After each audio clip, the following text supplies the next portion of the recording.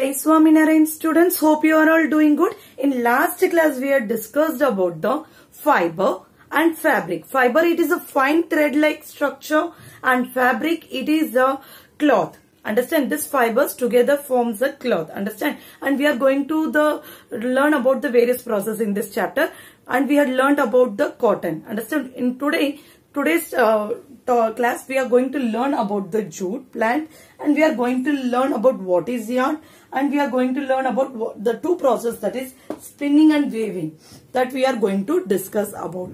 Okay students with the topic jute. Jute is obtained from a plant that you already know that jute cotton they are plant fibers and which part of the plant is given plant is giving jute that is stem. The jute is obtained from the stem of the plant. Jute is obtained from the stem of the plant. Understand students how it is how it is removed, how the jute is taken from the plant by when the stem is rotten. Rotten decay hota hai. These fibers are removed from the stem with the hands. Understand? In this way the jute is obtained. Understand students?